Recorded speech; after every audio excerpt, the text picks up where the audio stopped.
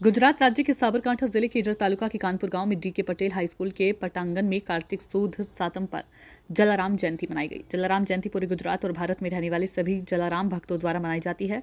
इस साल 8 अक्टूबर को जलाराम बापा की 225वीं जयंती मनाई गई। कानपुर में 19 साल से जलाराम जयंती का जश्न मनाया जाता है। कानपुर के ग्रामीणों के द्वारा जलाराम जयंती महोत्सव 2006 मनाया जाता है।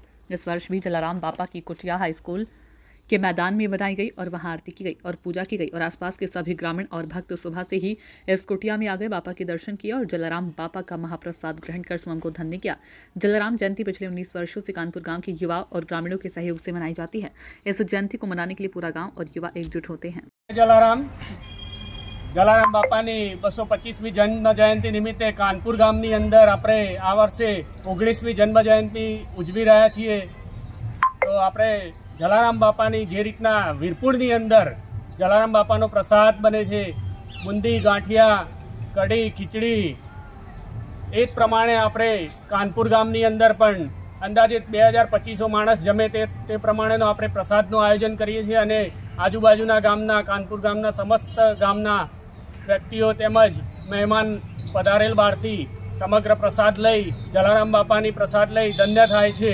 અને જલારામ બાપાની અસીમ કૃપા કાનપુર ગામ તેમજ સમસ્ત માનવ સમાજને ફરદાયી થાય છે. એ પ્રમાણે આપણે જલારામ બાપાની ઉજવણી કરીએ છીએ.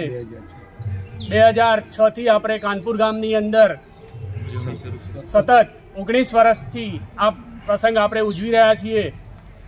તે જ પ્રમાણે જલારામ બાપાની વીરપુરની અંદર જે રીતના આરતી પૂજા તેમજ પ્રસાદની વ્યવસ્થા કરેલ છે તે જ પ્રમાણે આપણે કાનપુર ગામની અંદર પણ આપણે તે જ પ્રમાણેનું આયોજન કરી અને ભક્તોને પ્રસાદનો લાભ આપીએ છીએ. જય જલારામ. જય. જલ